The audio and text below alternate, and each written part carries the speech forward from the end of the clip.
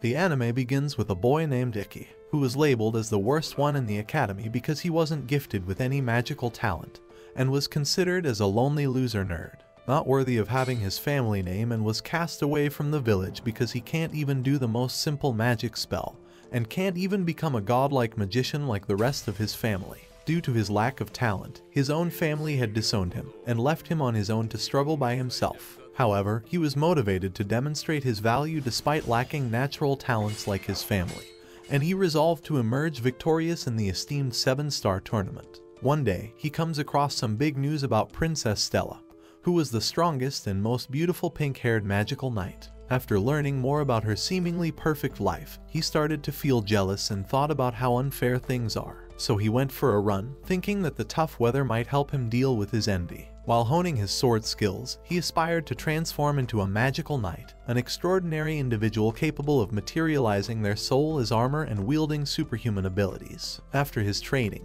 he goes back to his room and finds a hot girl there who forgot to lock the door. The girl, who turns out to be Princess Stella newly enrolled in the school, gets embarrassed and complains to the school director. Surprisingly, the director talks about the school's history and principles, warning about the harm his actions could bring to the school's reputation. She insists he takes responsibility like a man. He gives a weak apology, but Stella remains firm, suggesting a serious duel to make up for his mistake. He tries to reason with her, but it only makes her angrier. In a last-ditch effort to avoid trouble, he compliments her beauty, and to his surprise, it works. Since she was unmarried and single for a long time, Stella blushed hard. However, the director interrupted their romance and revealed that they are roommates. She had put together the weakest, Ikki, and the strongest, Stella, together in one room, thinking it was a good match. However, this leads to an argument, and the director proposes a mock battle to settle the dispute. Stella suggests the loser becomes the winner's servant, and Ikki the simp happily agrees. At the battlefield, the director reminds them that this is a mock battle ensuring no physical harm, but one can drain the opponent's physical strength to win. A fierce battle unfolds, and Ikki showcases impressive sword skills, skillfully countering Stella's fire sword attacks. He compliments her talent and hard work and reveals his technique, Blade Steal, which allows him to see through his opponent's moves. Just when Ikki was about to land a decisive blow, Stella used her talent of magic and Ikki's attack had no effect. She gathered all of her magic and used a formidable move on Ikki. However, to everyone's surprise, Ikki used the magic he had invented by himself and dodged all of her attacks at supersonic speed. Ultimately, he defeated her with a powerful attack, earning him the victory. After the battle, Stella ends up in a hospital where she questions the director about how Ikki could defeat her despite his low rank. The director explains that the ranking is based on a knight's overall ability rather than their actual fighting prowess. She reluctantly reveals that there is currently no system in place to evaluate Ikki fairly. Stella then reveals her reason for studying abroad, to be recognized for her own abilities rather than simply being gifted. Later, Stella enters Ikki's room to apologize, but finds him sleeping soundly. As she admires him for a while, he unintentionally wakes up. Much to her embarrassment, she apologizes to him and agrees to be his servant or dog, as per the earlier agreement to fulfill his desires. However, he simply laughs it off and asks her to be his roommate, to which she happily accepts. The next day, as they finish their morning run together, he casually mentions that running 20 kilometers daily is part of his routine, making it sound as ordinary as brushing his teeth. She responds by saying she was able to keep up with him today, suggesting she can match his pace. He then reveals that his sister is starting school that day, raising her suspicions. He reassures her that they are indeed full-blooded siblings. In the classroom, their new teacher, Yuri Ariki, warmly welcomes all the newcomers and explains the rules for the upcoming competition. She informs them that the selection will now be based on actual fighting, and the top six individuals will be chosen as school representatives. But just as she's about to elaborate on the fighting techniques, something bizarre happens. She spills red liquid all over the floor, creating a scene worthy of a tomato juice commercial. Later, Iki and Stella visit her in the hospital, and she explains that this happens almost daily. She vomits about a liter of red liquid each day. He advises her to take it easy and not push herself too hard and reveals to Stella that it's because of his sensei, Yuri, that he was able to get accepted into this school. Later, a girl named Kagami suddenly approaches him, praising his performance in the mock battle, and excitedly asks for an interview. Iki blushes, and Stella walks away, visibly upset with jealousy. Politely, he declines the interview offer and hurries to catch up with Stella. However, it's interrupted again by a girl named Shizuku who approaches him, calling him her brother. Ikki agrees that she's his sister, but she surprises everyone by kissing him on the lips, leaving the onlookers gasping. Man, this show is like the Game of Thrones of anime. Shizuku is shocked and upset, expressing how much she missed Ikki during their four-year separation. Stella steps in, pulling Shizuku away and scolding Ikki for engaging in what she considers an inappropriate activity with his sister. Shizuku argues with Stella about Ikki, and in the heat of the moment, Stella accidentally reveals to everyone that she and Ikki have a master-servant relationship, surprising everyone. Shizuku summons her water sword, and Stella does the same, escalating tension as they exchange insults about each other's looks before attacking. The director intervenes, taking them to the ladies' restroom and sternly warning them that using weapons outside designated areas is strictly forbidden. As punishment, she orders them to clean all the ladies' restrooms for a week. After the director leaves, instead of a sword match, they continue their verbal battle, trading insults about their appearance once again. After serving their detention, Shizuku warns Stella not to behave shamelessly, and reveals how Ikki felt ignored and treated as if he didn't exist. Stella is shocked by this revelation. Later, Stella confronts Ikki, who opens up about his tough childhood. He shares how his family mistreated him for not having the same powers as his powerful grandfather, Ryoma, a well-known samurai.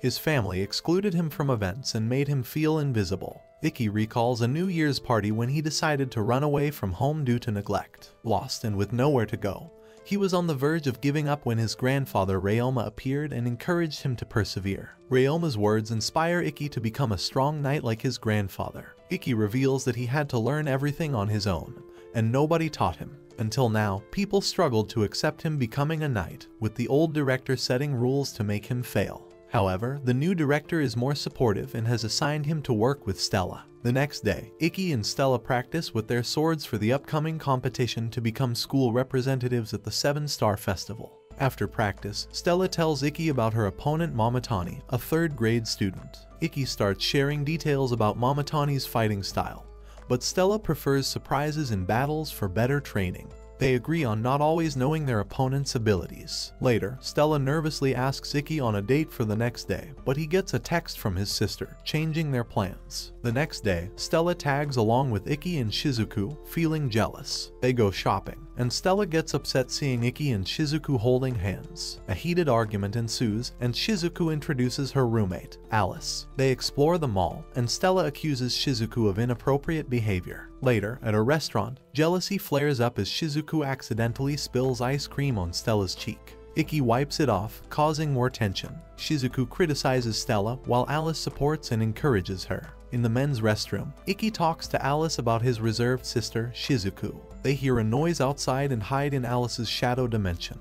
They discover potential kidnappers in the mall and decide to investigate. The school director grants them permission to handle the situation. Meanwhile, the kidnappers take hostages, including Stella and Shizuku. Stella intervenes when a child is threatened, using her fire attack. Bishop, the boss, appears, absorbs Stella's attack, and punishes her. To save the hostages, she follows Bishop's demand to remove her clothes. Ikki, unaware of this, struggles to free himself. Shizuku creates a magical barrier, protecting the hostages. Ikki, Alice, and Stella defeat the kidnappers. Ikki apologizes to Stella, and Shizuku admires her courage. At that moment, Kirihara appears, saving the day with a laser attack. Later, he brags about his heroics and insults Ikki, but Stella defends Ikki. However, Kirihara exposed Ikki's past defeat against him and revealed that he was his first opponent in the upcoming tournament. The next day, the competition begins, and Stella's first opponent is Momotanni, also known as the heavy tank due to his formidable defense. He possesses a very rare armored device known as Goliath, which releases a tremendous amount of power in close combat situations. The audience applauds Momotanni for his combat skills and seniority in the competition,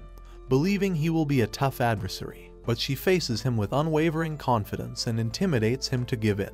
As a result, she is declared the winner, shocking everyone and proving her prowess as a formidable contender in the competition. Later, Ikki watches a video of Kirihara's fighting skills along with Stella and is shocked by his abilities. He asks if Kirihara was using an area invisible technique, a method that makes one's presence and smell undetectable, essentially creating a perfect camouflage. Ikki confirms that it's a feature of Kirihara's weapon, which gives him a tricky advantage. Stella expresses her dislike for Kirihara's fighting style, which involves attacking enemies from a safe distance using stealth camouflage. Ikki agrees, saying that if Stella were to face Kirihara in battle, he would likely withdraw, as her wide-range attacks would easily counter his stealth and area invisible tactics. He then reveals that Kirihara usually avoids fighting opponents who utilize wide-range combat attacks like Stella and that Kirihara has earned the nickname the Hunter because of his sneaky tactics. She disapproves of Kirihara's cowardly approach, referring to him as a chicken but also acknowledges that he can prove to be a formidable opponent against Ikki. She expresses concern for his safety and asks if he will be okay facing him.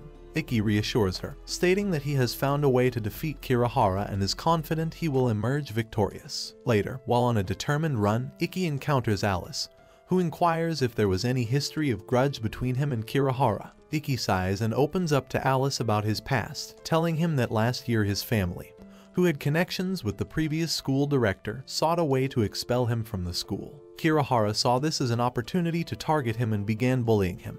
He challenged him to a duel to prove his worth, but he was not interested in participating. Despite Ikki's reluctance, Kirihara persistently pestered and attacked him repeatedly, even when Ikki was unarmed and unwilling to engage in a fight. As a result, he wasn't punished or expelled by the school director. After hearing this, Alice expresses sympathy and wishes him luck before leaving. As the battle approaches, Stella asks Ikki if he wants to watch ongoing battles, but he replies that he will be in the waiting area, focusing on his strategies. In the waiting area, he receives instructions from a digital screen warning him that the competition battle is not a simulation and can cause serious harm.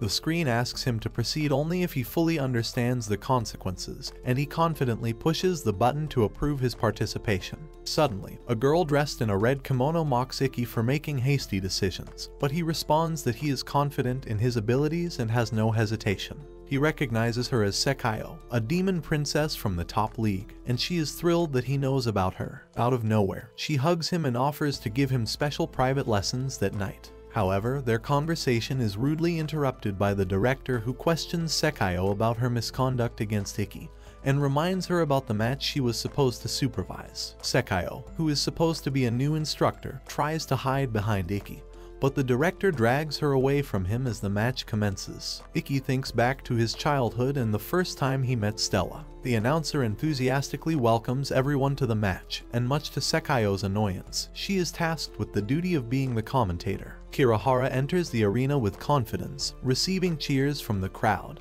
Ikki even steps into the arena, and the battle begins. Kirihara uses his area invisible technique to attack Ikki from different directions, all the while mocking and taunting him. Despite the challenge, Ikki manages to deflect most of Kirihara's laser attacks, skillfully tracing their origin to locate him. However, Kirihara suddenly disappears and announces that he will inform Ikki about where he will strike before actually attacking him. With this new strategy, Kirihara manages to land several blows on Ikki's body, and as a result, Ikki suffers serious injuries from the unexpected assault. He explains that he can now use his invisibility on his laser attack, thus Ikki won't be able to deflect them like previously. Seeing Ikki in bad shape, Stella becomes angry and wonders why he didn't attack first. However, Alice explains that Ikki was likely nervous, which makes Stella realize the truth and feel guilty for not recognizing it earlier. Back at the arena, Kirihara continues his relentless attacks on Ikki and decides to reveal to everyone the condition he made with the new director for his graduation. The condition is that Ikki must win the 7-star festival battle, otherwise, he won't be allowed to graduate. When the audience hears of this revelation, they start laughing, as the 7-star battle is extremely tough to win. They mock Ikki, saying that there is no way an F rank like him can win it. Kirihara delivers a fatal blow, and Ikki collapses to the ground, while Kirihara mockingly calls him the worst one. The crowd joins in laughing and chanting worst one as well. Enraged, Stella's fiery aura flares up, and she demands everyone to shut up and stop making fun of her favorite knight. She then encourages Ikki not to give up, and upon hearing her words, he finds the determination to get back on his feet and thanks her before preparing to counterattack Kirihara. He realizes that he needs to rely on his imperfect technique, Ittou Shura, to counter Kirihara's attacks. Utilizing his perfect vision, he sees through Kirihara's moves and successfully defeats him, emerging as the winner. However, the strain of the intense battle takes its toll, and Ikki collapses on the ground. Sekayo explains to everyone that Ikki used his sword stealing technique, which enables him to understand his opponent's logic and use it against them, just like he did with Stella during her mock battle. Later, in the hospital, Stella stays by Ikki's side, feeling deeply concerned for him. Exhausted from the events, she eventually falls asleep next to him, sharing a heartwarming moment together. Meanwhile, Alice consoles Shizuku,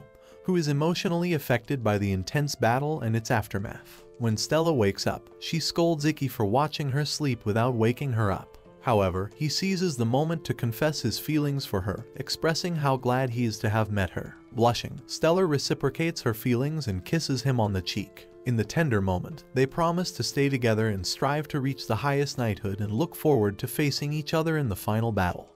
It's been two weeks since Stella and Ikki confessed their feelings for each other, but Ikki hasn't taken any action on it yet, causing Stella to worry. She finds herself practicing with her sword, preparing for the upcoming battles, but her concerns about their relationship linger. Meanwhile, at the selection match, Ikki performs exceptionally well, winning five consecutive matches and thus re-establishing himself as a formidable opponent, shedding the reputation of being the worst one. The audience praises him, referring to him as the uncrowned Sword King. Later, after one of his matches, the reporter girl Kagami and her friend approach him and express their wish to learn swordsmanship from him. Without hesitation, he agrees to teach them. This makes Stella worried and jealous, as she fears that more people seeking Ikki's attention might create competition for his affection, and potentially cause problems for their relationship. Seeing him getting the affections of so many girls, the boys in his class also start to envy him and decide to bully him. When the class begins, instructor Yuri-chan enters, but before she can start teaching, she vomits red liquid in the class again, causing panic among the students and leading to the dismissal of the class. Back in their room, Stella expresses her frustration to Ikki, saying that he is too generous and should prioritize spending more time with her instead of teaching others. However, Ikki, being someone oblivious, doesn't fully understand her real concerns and casually responds that he doesn't mind helping others. Just as Stella is about to express her desire for a more involved relationship, she sees that Ikki has fallen asleep, which further fuels her anger and frustration.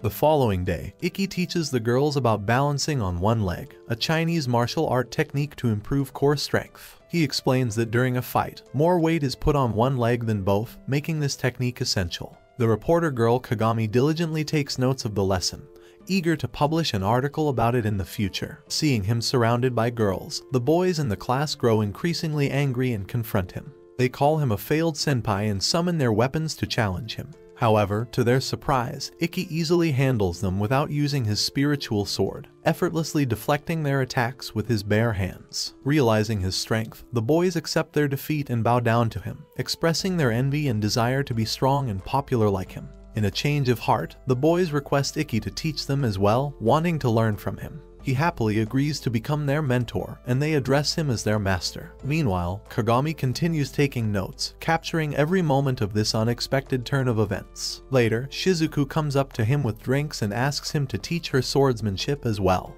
However, he suggests that she can learn from a family master instead. Shizuku then questions why Stella is holding two bottles of juice as well. Embarrassed, Stella explains that it's because she was too thirsty and proceeds to finish off both bottles of juice, surprising him. In truth, she wanted to be the one to provide him with refreshment, but Shizuku beat her to it. So Stella pretends that the drinks are for herself to avoid appearing like a loser in front of him.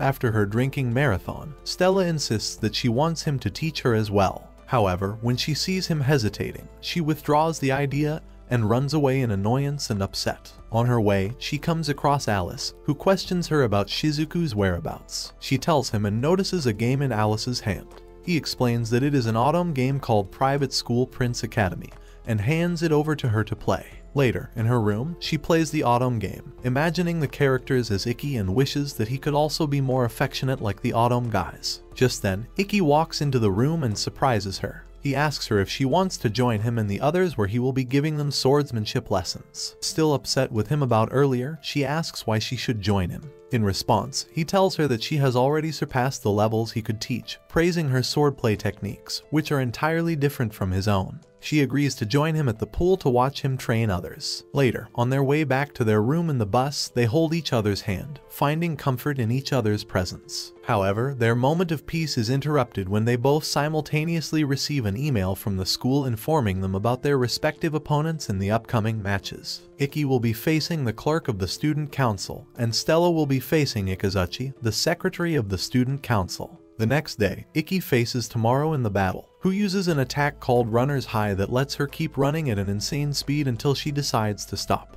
Ikki struggles to keep up with her, but he manages to outmaneuver and capture her, securing his victory in the match. Meanwhile, Stella fights against Ikazuchi, who uses his ability called Accumulation of Slashing Weight and attacks her. However, she manages to defeat him, securing her victory in the match, just like Ikki. Later, Shizuku joins Ikki to congratulate him on his victory, offering to sleep next to him and nurse him back to normal. Stella gets disgusted by this and asks him to keep his distance from Shizuku. However, Shizuku turns on her charm, and Ikki falls for it, seemingly unaware of Shizuku's intentions. She turns to Stella, relishing in her victory and emphasizing the bond between siblings, asking Stella not to come between them. Suddenly, Alice reveals that they have been followed by someone for nearly a week. Ikki calls out the stalker to emerge from hiding. A shy girl named Ayase Atsuji comes out from behind a tree, using branches as her cover. Stella recalls that Ayase is the same girl she accidentally hit with a ball during pool training. The girl starts panicking and quickly leaves the scene, but in her hurry, she accidentally falls into a nearby water body. They rescue her from the water and take her to the hospital. Ayase apologizes for her behavior and reveals that she is a third-year student. Ikki recognizes her last name and asks if she is the daughter of Kaito Ayatsuji, a renowned sword master. She confirms that she is indeed his daughter, which excites Ikki. Shizuku tells Stella that Kaito is known as the last samurai, who earned victories in many prestigious battles and tournaments despite not possessing any magical knightly abilities like them. Ikki shares his admiration for his father, telling her that he was his role model when he was a kid. Ayase then reveals that her dad is no longer actively participating in matches due to an injury from his earlier battles that led him to be hospitalized. Shizuku then questions Ikki, asking why she was stalking them. Ayase confesses that she needs training and has been practicing alone for a long time. She wanted Ikki's help in teaching her, but she was too shy to actually ask him. Ikki kindly offers to train her in swordplay, and she immediately agrees. Later, Ikki and Ayase practice their swordplay, and he observes that she has a good foundation, probably due to her father. He stops their training and advises her that, in order to improve, she should not simply imitate her father's moves exactly. Instead, he encourages her to find her own style and develop unique techniques. He then goes over to her to correct her posture, and she starts blushing while Stella and Shizuku get jealous by their interaction. He talks about how males and females have different anatomy, and how she can use it to her advantage rather than imitating her dad's technique. After this special instruction, Ayase starts to make progress in her training and becomes impressed with Ikki's teaching. Later, he apologizes to her for being hands-on in their training, and she tells him it's not a big deal. As Stella and Shizuku, who observe their bond, come to understand that Ikki was simply teaching Ayase swordplay, their jealousy subsides. Ayase tells him that she is now confident in improving her abilities and becomes determined to win the 7-Star Battle Festival. Later, in their room, Stella asks Ikki if he enjoys giving special instructions to Ayase and playfully requests the same treatment. But he tells her that it's not like that and assures her not to be insecure, as he only has feelings for her. The next day, Ayase and Stella train against each other and Ikki happily watches them. After the training session, Ayase treats them to dinner as a gesture of gratitude. At the restaurant, Stella eats like a pig as she doesn't have to pay the bill. Ayase asks her how she maintains her figure despite eating so ferociously. Ikki laughs awkwardly at this and changes the topic. Ayase then expresses her gratitude to Ikki for teaching her, and he modestly says it's not a big deal. The rest of the dinner would have proceeded without any action, but trouble arises when a gang of men, led by a big guy called Corrado, approaches their table and harasses Ayase. Ikki intervenes and tells him to stay away. They try to provoke him into a fight, and Corrado smashes a bottle on Ikki's head and challenges him. As the situation escalates, the other customers fear for their safety and flee from the scene.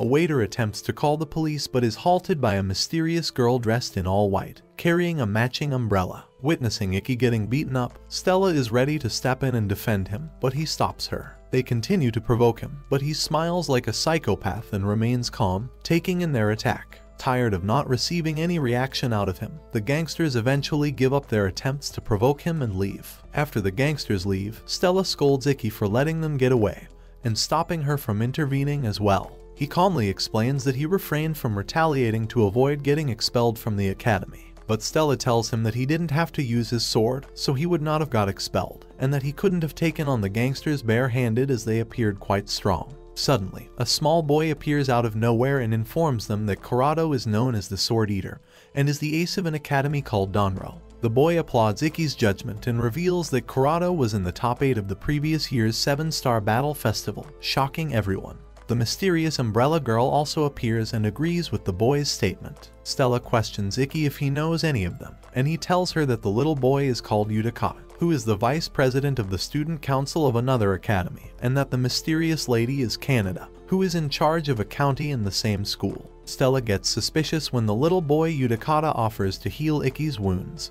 who accepts his offer. Later, on their way from the restaurant, Ayase questions Ikki if he's alright, and he tells her that he is perfectly fine all thanks to the little boy's treatment. Suddenly, he receives a mail from the school informing that his upcoming selection battle is with Ayase. This creates an awkward tension between them, and she runs away embarrassed. During her training, Ayase becomes very distant and stops coming to their training sessions altogether. Ikki discusses the matter with Alice, who advises him to chill and says that Ayase will make a move before their battle the next day. As predicted, Ikki receives a message from Ayase asking him to meet her alone at the rooftop building at 3 am. Alice warns him that it might be a trap, but Ikki decides to go, stating that he can't refuse a request from his friend. Alice warns him again that he should be prepared to end his friendship with her if anything goes wrong. Despite Alice's worry, Ikki sticks to his decision not to let anything break their friendship and goes to meet Ayase on the rooftop, as she requested.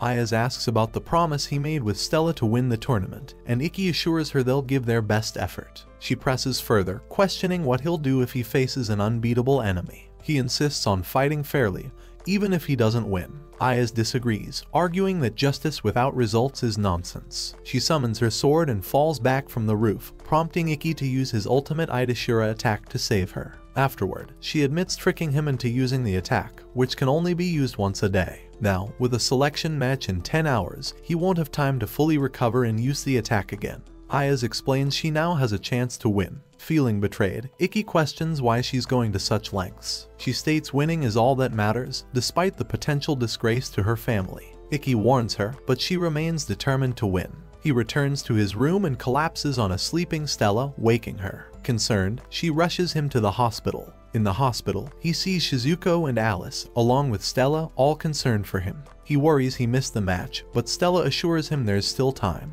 The director enters, taking Ikki for an investigation. Ikki refuses to discuss the incident, willing to take responsibility for damages. The director reveals Ayase's father was left unable to wield a sword after a battle with Corrado, who took their land. Ayase aims to regain her family's honor through the battle festival, reflecting on Ayase's determination. Ikki, Alice, and Stella seek ways to defeat her. The battle begins, and Ikki faces Ayase. He swiftly attacks, but Ayase uses a mysterious ability that confuses the audience, including Stella. No one knew about Ayase's abilities because she hadn't joined any battles until this year. The battles she won were based on her sword skills without using magic. Ikki faces a tough situation but still attacks. Ayase uses her taste of wind scratch attack, creating invisible whirlwinds and traps with her device. The opening wound is her device's unique ability, hiding invisible sword cuts. However, this breaks the rules, and Ayase is lucky no one noticed. Ikki skillfully dodges her attack and avoids her tricks. Ayase is surprised and wonders if he figured out her tactics. She attacks fiercely, and he collapses, realizing one more hit could worsen his wound.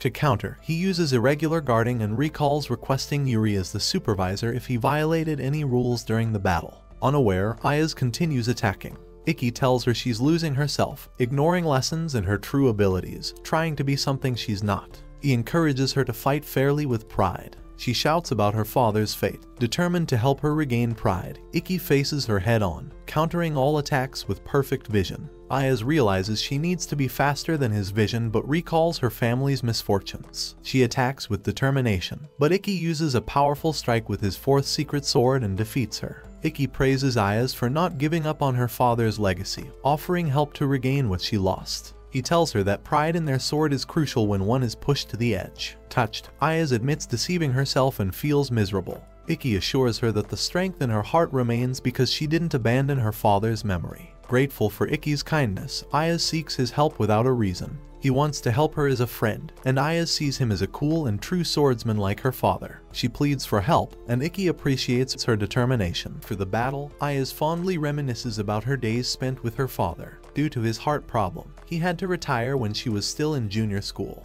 However, he never gave up on guiding her and his other students with unwavering dignity. He taught her crucial techniques like relaxing her shoulders while keeping her arms strong, tightening her wrists without straining, and mastering the secret technique Tenai Muho. Ayase found these teachings challenging, but her father praised her for faithfully following his instructions. He constantly reminded her to take pride in her abilities, always uphold civility, help the weak, and stand against evil. Those lessons resonated deeply with Ayase, and she carried them in her heart even after her father's unfortunate illness. Later that day, Stella reads on her phone about Corrado, who three years ago at Donko Academy unofficially entered other schools and destroyed martial arts schools around town. He is known as his Sword Eater, and Ayase tells Stella and Ikki about that fateful day when Corrado fought her father. He made Kaito fall down, and her father apologized to her that he was not there when Corrado hurt her previously, and attacked him with determination.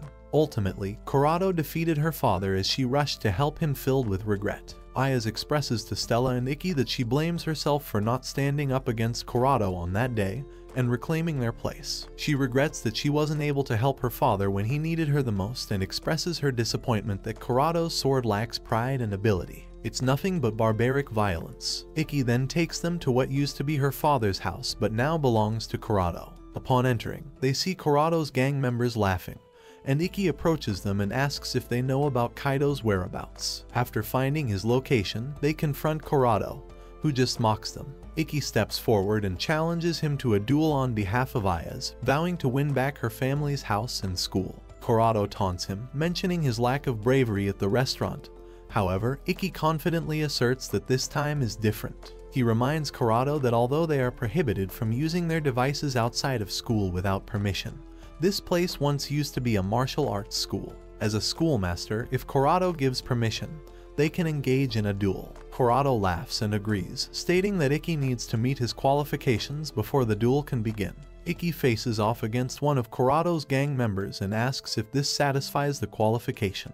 In response, Corrado summons his deadly sword Orochimaru, which can transform into different shapes. The battle begins, and Corrado charges forward, but Ikki manages to defend himself. Corrado starts attacking him repeatedly, and he dodges them with effort before charging at Corrado, but it has no impact on him. Ikki is puzzled by Corrado's abilities and wonders if he realized his intentions. Corrado then transforms his sword into a long, deadly, snake-like bone creature and attacks Ikki fiercely while mocking him. Despite his efforts, Corrado's incredible speed and reflexes make him seem unbeatable. Ikki barely manages to hold off his attacks, even after using his perfect vision. Ikki realizes that Corrado's ability lies in his speed and reflexes, which allowed him to defeat Kaito's father previously. Her auto applauds him for being the first one to discover his ability called the marginal counter. After the first battle, they proceed to attack Ikki from two directions at the same time but he manages to dodge their attacks by using his irregular guarding move. So Corrado attacks him from all four directions, overwhelming him and causing him to lose balance and avoid the fatal attack.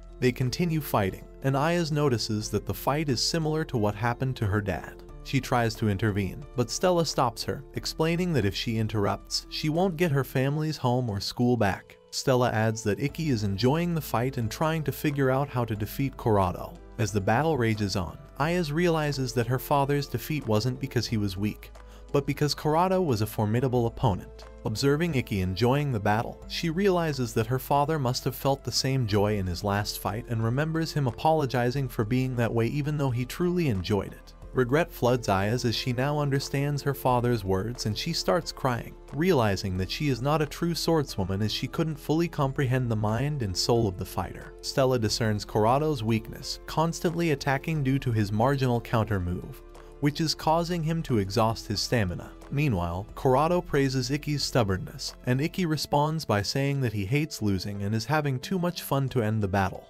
Determined, Ikki promises Ayase that he will avenge her father's misfortune and strikes Corrado, surprising him with the essence of Kaito's technique. He successfully employs Kaito's secret technique Tenai Muvo, which Kaito had attempted to use in his last battle but failed. Ayase is amazed that Ikki knows this technique, and Stella reveals that she experienced the same technique from him during her mock battle. Impressed by Ikki's performance, Corrado asks for his name and tells him that they will continue their fight at the 7-Star Battle Festival before leaving and tells him to do whatever he wants with this place after the battle. Ayase apologizes for not understanding the true meaning of swordsmanship, but Ikki assures her that it is not her fault. The only reason he won today is that he learned Kaito's secret technique by observing her moves. He believes that she is the true successor to her father's legacy. Ayase expresses her gratitude for his encouragement and tells him that she needs to become even stronger to be confident enough to carry on her father's legacy. Together, they decide to rebuild the martial arts school that once belonged to her father.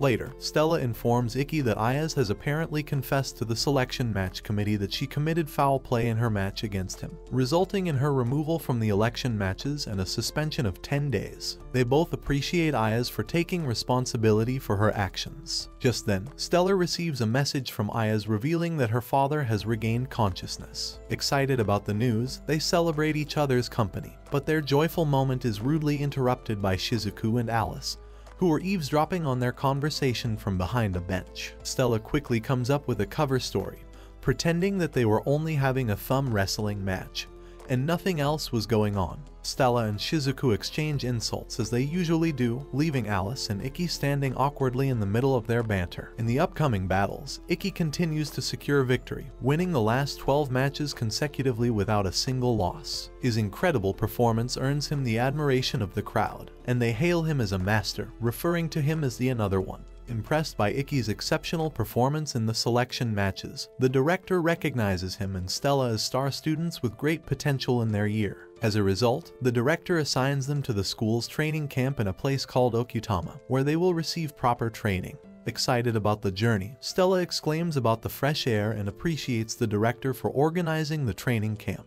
Ikki agrees that it is nice to get a week off from school. They cross beautiful locations on the way, and Stella gets excited. Meanwhile, Alice and Shizuku are at the metro station. She expresses her unhappiness that she couldn't stop her brother and Stella from going on the trip and asks him to come along with her to cheer her. But he tells her that he unfortunately made other plans for today and sends her off on a train, encouraging her to be strong before he leaves. At the training camp, Stella enjoys spending time with Ikki and encourages him to do more lovers stuff and proceeds to kiss him. Instead of returning the affection, he stops her and points to a group of people who happen to be the student council members. After reaching their lodging, Stella and a boy called Renren have a fierce badminton match using their magical powers. They seem to be evenly matched, and everyone witnessing their match wonders what kind of nonsense the game is, as it is not a typical badminton match. Ikki asks the white lady, Kanata, why they are here, and she responds that they have to work for the student council and asks if he is here for the same reason.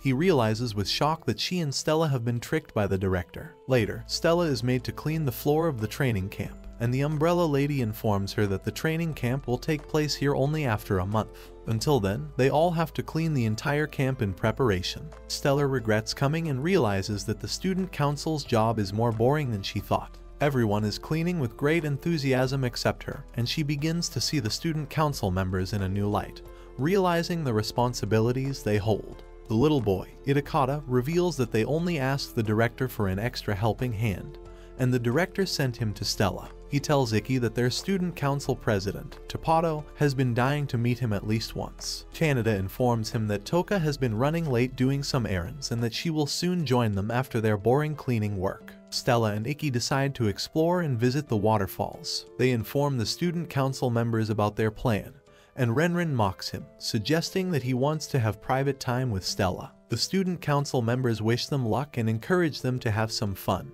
Ikki and Stella hike up a mountain that happens to be steeper than they thought, but Stella becomes tired. He asks her if she is alright because even earlier that day she only ate two bowls of ramen like a normal girl instead of seven bowls like she usually does. She tells him that she is fine, and they continue climbing the mountain. Meanwhile, Shizuku arrives home and heads to her room where her cat greets her affectionately by rubbing against her leg. She discovers childhood photos of Ikki in her room, bringing happiness to her heart as she admires the pictures. She is called to the living room where it becomes apparent that her father wants to talk. However, their conversation becomes tense when Shizuku expresses her discontent with the way he treats Ikki. Back at the camp, Stella's condition worsens, and she becomes increasingly tired and unwell. Ikki takes care of her and suggests returning to the camp if she isn't improving. She tells him that she is feeling dizzy and nauseous and even questions him in horror if the kiss they shared the other day could have got her pregnant. Ikki reassures her that it's not possible and wonders if she is just playing the innocent girl or being foolish. He suggests that she might have caught a cold, but Stella admits that she has never had one before and feels that her body is not cooperating with her.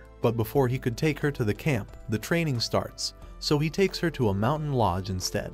Ikki continues to care for Stella and checks for a fever. Just as he predicted, she has a high fever. After comforting her, they talk about their relationship, and Ikki expresses his desire to proudly talk about their relationship to both of their families. Just then, he's interrupted by a phone call from the student council members who are concerned about their well-being.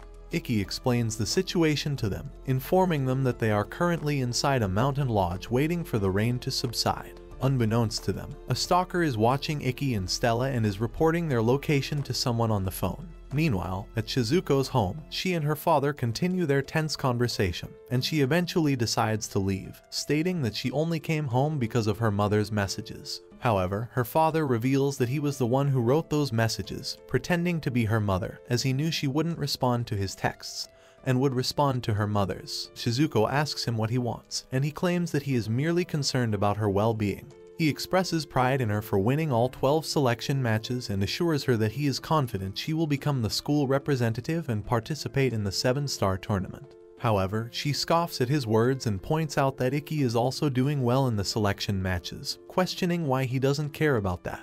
She then leaves. Back at the mountain lodge, Ikki hears some noise and goes outside to find a giant being made of rocks attacking their lodging. He rushes back in to protect Stella, carrying her to safety under a tree before facing off against the giant rock monster, summoning his sword. Ikki attacks the monster, but to his surprise, it splits into smaller rock monsters, making it difficult for him to defeat them. The monsters attack him and head towards Stella next. Just then, Renren arrives and rescues Stella, passing her to Ikki. The rest of the student council arrives and fights the rock monsters. Ikki speculates that the monsters must be controlled by a magical knight, Utakata joins him and explains that this has to be the work of a person using the steel wire ability. He further explains that individuals with a steel wire ability use magical strings to remotely control inorganic substances like these rocks. Suddenly, the president of the council, Toka Tadu, arrives and joins the fight. She explains that no matter how far the steel wire is used, they're all connected by the same powers as the monster, making them traceable. Toka uses her Thunder Slash attack to defeat the rock monsters, and Ikki is astonished by her incredible strength and abilities. Her powerful attack travels through the magical string, injuring the steel wire user who is still away from the scene. Ikki marvels at her prowess as one of the top four finalists from the previous year's battles and the strongest knight of the academy. Meanwhile, Shizuku receives a message revealing that her next opponent in the 7-star battle will be Toka Tadu and finds this news amusing. The next week, Shizuku takes a trip down her memory lane, reminiscing about her childhood. She remembers how adults forgive mistakes in front of power, but her brother Ikki never bowed down to power. It inspired her to be strong. At that time, she didn't know anything about the harshness or coldness of the solitude he was bearing, as everyone in her family treated him like he never existed. So no matter what happens, she will follow in his footsteps and prove her strength by winning a match against Toka in the 7-Star Battle Festival. Later that day, during lunch, Ikki, Stella, and Alice discuss Toka Tadu's powers after reading an article about her. Alice questions Ikki about Toka, but he replies that he didn't get to talk to her much and only witnessed a fraction of her power during her battle with the rock monster. But even that was enough to confirm the rumors that she was very powerful. Stella worries that Shizuku might lose, and Alice tells her that she's having mock battles with upperclassmen who are lightning users to prepare for her battle with Toka. He further explains that Shizuku's ability to control magical power at a very high level allows her to create ultra pure water that doesn't conduct lightning, countering the natural disadvantage water has against lightning. Despite this, Ikki is still worried about Shizuku, and although he wants her to win, he doesn't want her to be hard on herself. Later, Shizuku shares her feelings with Alice, expressing her love for Ikki and her desire to be strong to help him. She vows to show her strength in the upcoming match and prove herself. Afterwards, the battle between Shizuku and Toka begins. They face each other in the arena, and the commentator announces that Toka is the number one on the ranking list. She tells the audience that she is so fast that one can't avoid her, and her golden lightning flash attack will strike her opponent in the blink of an eye. Shizuku summons her sword first, and Toka follows suit by summoning her thunder sword. She is recounting back to her childhood how she loves her brother and is determined to win. For a while, neither of them moves and simply stares at each other, confusing the audience and the commentators. Instructor Sekayo, who is the supervisor of this match, explains to the commentator that the candidates are waiting to see how their opponent will move, as they are both strong enough to be a 7-star champion but the one who moves carelessly will lose. Ikki knows that Shizuku doesn't want to make the first move in this match because Toka has the strongest weapon she can use in close range. He reveals to Stella that her noble art was so strong and intense that Toka was nicknamed after it as the Raikiri, a super electromagnetic sword drawing technique. He explains that in the past, Toka used this technique to defeat many of her opponents. Once she draws the sword and uses the technique, one can be sure that she will slash her opponent down, and no one has been able to survive her close range attacks before. Shizuku creates a protective barrier by creating an ice field. Toka instantly avoids this and makes a counterattack from long distance, as predicted by Shizuku. She summons a giant wave and sends water bullets across to Toka, who deflects all the water bullets with her thunder sword and hits back at the wave. She continues attacking, and her lightning speed becomes apparent. Ikki explains to Stella that to keep Shizuku's wave technique going, she has to generate ultra-pure water. On the other hand, Toka only has to keep on attacking with her lightning. Suddenly, Shizuku uses her ice to hold Toka in one place and launches a huge ice attack at her. But Toka breaks free from the ice, and everyone cheers for them for giving such an extraordinary battle. Toka wonders how Shizuku was able to counterattack and trap her in the ice, as it is impossible for Shizuku to see through her magical power control. Suddenly, with a blink of an eye, Toka moves close to Shizuku and launches into a series of attacks against her. Barely dodging them, Toka does it again, and this time it lands on Shizuku, injuring her pretty badly. But it turns out Toka had actually attacked Shizuku's water shadow, and not her. But even still, she got a cut because of the impact. As the battle progresses, Shizuku can't see through Toka's moves and finds herself at a disadvantage.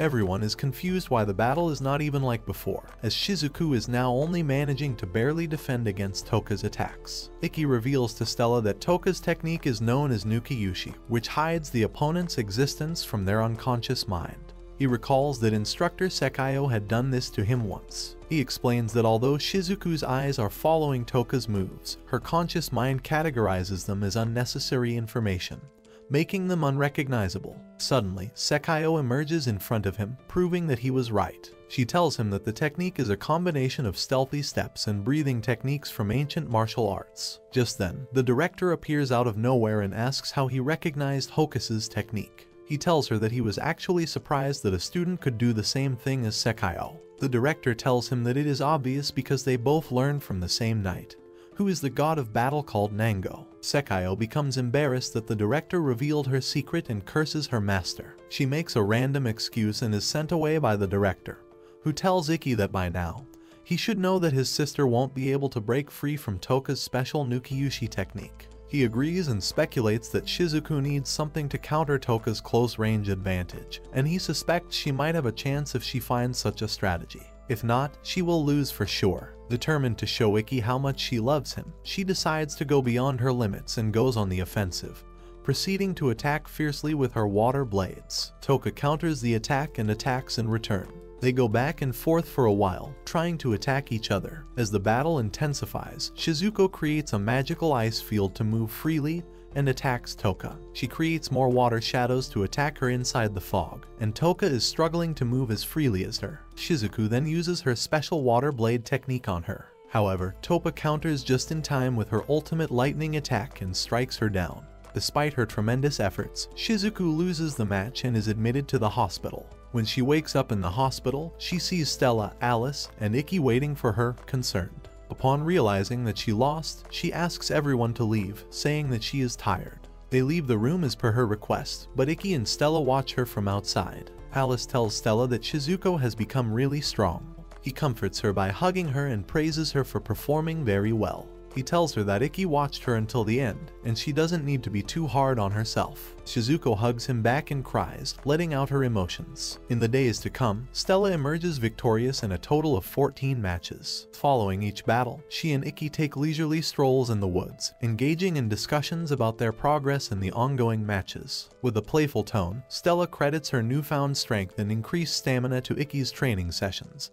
humorously labeling them as torture. During their conversations, they reminisce about the promise they made to participate in the Seven Star Festival finals and mutually agree that winning all the remaining matches is the key to achieving this goal. Meanwhile, at school, notices begin to circulate, indicating that only four matches remain for the selection of the school representative. The director at the school takes an interest in Akaza, a shady old man associated with the International Federation Magical Knights. In a meeting with Ikki, she probes into Ikki's knowledge of Akaza and expresses concerns about his potential secretive activities around the school. Ikki confirms his familiarity with the man, recounting a few encounters during his time living in his parents' house. The revelation that Akaza is now working under Ikki's father prompts the director to share her suspicion that he might be covertly investigating the school. While expressing surprise at Akaza's alleged actions, Ikki attributes them to the man's personal animosity towards him. Later, Stella and Ikki receive a request to visit the student council. Upon arrival, they are warmly greeted by Toka Tadu, the president of the student council. However, the reason for their visit remains unclear as Toka instructs Utakata to return comics to the shelf and scolds other members for misplacing their belongings. Perplexed by the trivial nature of the request, Stella and Ikki observe the scene, wondering about the purpose of their visit. The subsequent scene reveals a different side of Toka as they all visit a place where the president is actively involved in social welfare activities. Toka extends help to children in need, and Utakata shares his past experience of being in a similar situation a few years earlier. The children, recognizing Stella from TV, approach her and she willingly joins them in play. In a heartwarming turn of events, Ikki, Toka, and Utakata engage in preparing food for the underprivileged children. Grateful for Toka's assistance at the camp, Ikki expresses his thanks and acknowledges the strength displayed by Toka's sister, Shizuku. Toka enlightens them about her unique ability as a lightning user, explaining that she can sense human actions through the weak electric currents transmitted by the brain. This ability, known as reverse sight, allows her to detect traps and sudden attacks. Toka takes charge of the cooking, urging Ikki and Utakata to take a break while the student council members enjoy time with the children. During their break, Ikki shares his fascination with Toka with Utakata, unable to take his eyes off her. Utakata attributes it to Ikki seeing the core of Toka's strength, which emanates from her commitment to helping children facing complex situations and backgrounds of poverty. Utakata narrates the children's difficult pasts, highlighting Toka's unwavering support that brought positive change to their lives. He emphasizes Toka's mission to provide hope, courage, and support to those in need. As the day progresses, Ikki and Stella return to school on a bus. Upon arrival, they encounter Alice, Shizuku, and Kagami, a reporter, who presents them with a newspaper featuring a photo of their kiss. The news has gained attention due to Stella's popularity, and the article paints Ikki negatively, suggesting his misconduct has been a recurring issue for the Knight Federation. Enraged by the false portrayal, Stella burns the paper. Suddenly, Akaza arrives in a luxurious car, revealing that the incident has led to a hearing by the Ethics Committee of the International Federation. He requests Ikki's presence at the hearing, and despite Stella's attempts to defend him, Ikki reluctantly agrees. The hearing becomes a platform where Akaza questions Ikki about his relationship with Stella, accusing him of inappropriate conduct. Ikki, steadfast in defending their love, refuses to accept any wrongdoing.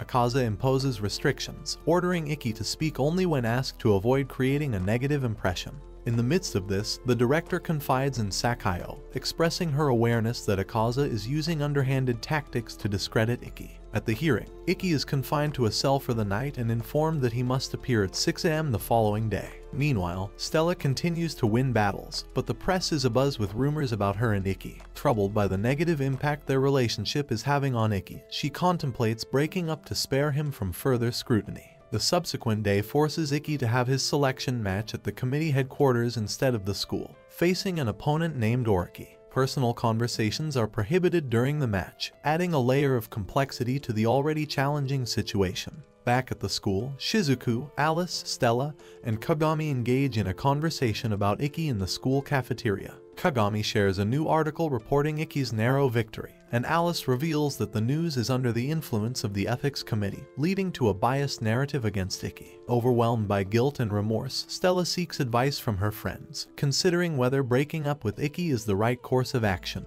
In a surprising turn, Shizuku intervenes, hitting Stella with a water attack and conveying the importance of understanding Ikki's sacrifices. She warns Stella against betraying him, emphasizing the depth of Ikki's commitment to their relationship. In the following days, Ikki continued his winning streak, achieving victories in a total of 16 battles. Instructor Yuri-chan offers support during moments of exhaustion, secretly providing Ikki with a token of encouragement from Stella. The gesture involves a piece of Stella's hair, offering Ikki renewed determination for his upcoming battles. Meanwhile, Stella remains dedicated to winning her matches to fulfill the promise of facing Ikki in the finals. Ikki takes a bold step by requesting Akaza to arrange a meeting with his father, Itsuki Kurogane.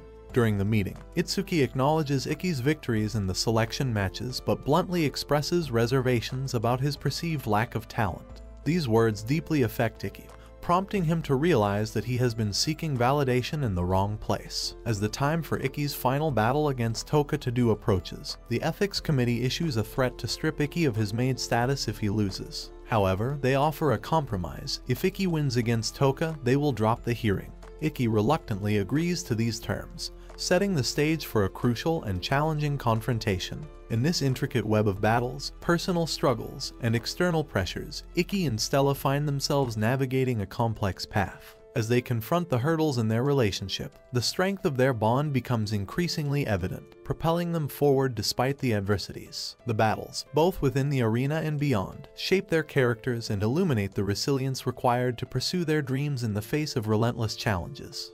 The next day, Ikki ponders upon his father's words and Toka's selfless actions of taking care of poor kids and giving them courage. He looks down at his empty, worthless sword, wondering what he should do now. Meanwhile, Toka speaks with her mom on the phone, and Shizuku arrives. Utakata welcomes her, and Toka apologizes for asking her to come. She asks if Shizuku knew that Ikki's next opponent was her. Shizuku confirms that she indeed knew about this and expresses her concern about the Federation's questionable methods. Chopper tells her that she had no choice but to accept their decision. Even though she heard that Ikki's condition was bad, she believes he would be on the battlefield giving everything to beat her. Toka adds that she can't cut corners when facing him, she has to fight him with her heart and soul. She asks Shizuku if she will request Ikki to withdraw from the battle. Shizuku tells her that she needs time to think about it and later asks Alice if she should stop Ikki from participating in the battle. Alice tells Shizuku that only she can find the answer to this since she is the only person in the family Ikki opened up to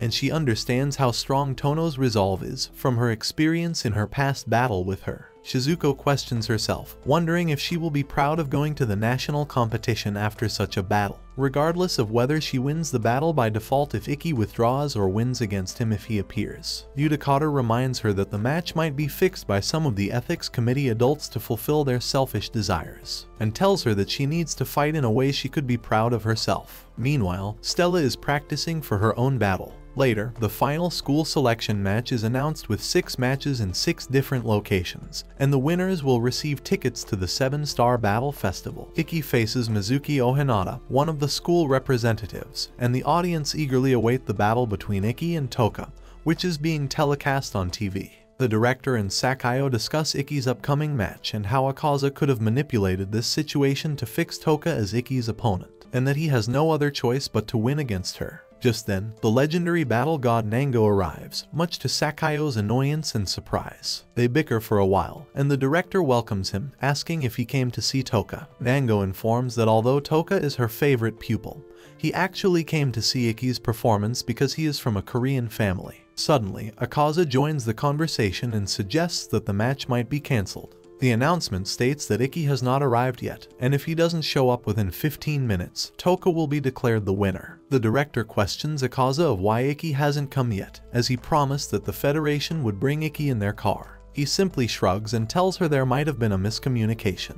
And when he went to pick him up in the car, Ikki had already left by himself. He coldly tells her that Ikki is not a child, so he should be fine unless he collapses on the way. Then Akaza laughs evilly. Meanwhile, exhausted and tired, Ikki thinks of his grandfather's words and struggles to reach the campus. Doubt rises in him if he had irresponsibly chosen to live by his grandfather's motto of not giving up and hence having to constantly live beyond his abilities. His doubt asks him how he can defeat Toka when nobody wanted him, and tells him that's why he ended up with a weak sword. Just then, Shizuku finds him and holds him against her, telling him that she doesn't want him to fight Toka. But she wouldn't stop him either. She expresses that she just wishes to see him happy and wants him to keep smiling. Everyone, including the students he trained, the members of the student council, Yuri-chan, the reporter girl, and Ikki, encourage and cheer him on. Shizuku reminds him that he had encouraged everyone and that they all dreamed through him. And Ikki is not alone he finally sees Stella, who excitedly waves at him and shows him the medal she got from winning the battles, and finally getting a chance to participate in the Seven Star Festival like they promised earlier. With her new determination and purpose, Ikki decides to take part in the battle and arrives at the arena. Toka and Ikki enter the battlefield, and the crowd eagerly waits for the battle to begin.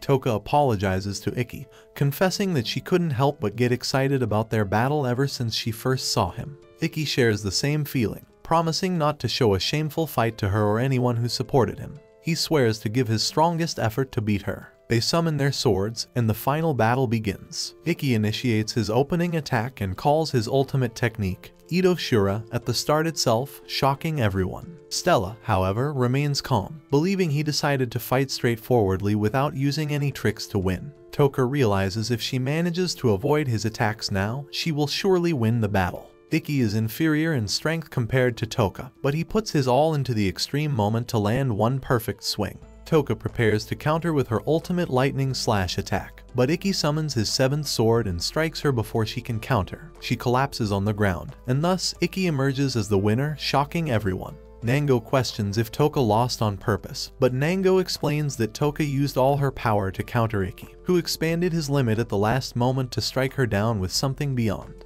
In her Shura, Sekio suggests naming this new technique in Toretsu, something more extreme than extreme. Overwhelming like a demon or monster, Akaza couldn't believe it and screams that it is impossible and goes to do something to discredit Ikki's success. But the director tells Sekio that it is too late, as Ikki had proven himself, and no one could deny him his victory anymore. As Ikki struggles not to collapse, Akaza tries to attack him, but Stella defends him and confronts Akaza for challenging Ikki in such a condition with her sword and rushes to Ikki, expressing her love for him just the way he is. Ikki realizes that Stella's warmth is what saved him and asks her if she would be his family. She accepts the proposal and agrees to be his bride. Everyone cheers for Ikki and Stella, and Shizuku accepts the reality of their relationship. Meanwhile, Itsuki receives a call from the Emperor of Vermilion, Stella's father, who informs him that he found out about Ikki's proposal to Stella. Itsuki quickly apologizes, but the Emperor dismisses it, suggesting that their kids should be kept out of the adult schemes and wishes for their happiness. Later, the winners of the selection match for the Seven Star Festival are announced. Ikki, Kanata, Alice, Stella, and two other girls. They will be participating in the Seven Star Festival and tournament as the school representatives. The director then calls Toka to the stage where she announces Ikki as their new president, and the audience cheers for him as their leader. She expresses her pride in him. Ikki credits her for his growth. Toka encourages him to carry the hopes of those who lost and to reach the top of the Seven Stars tournament with the school's flag, and he promises to do so. Later, Ikki confides in Stella. They used to think he didn't care about others' opinions as long as he knew his worth, but being acknowledged by others actually feels good, especially by someone he likes. Thanks for watching. If you enjoyed this and want to see more please make sure to drop a like and subscribe to the channel with notifications turned on so you never miss a future video. And until next time guys, take care.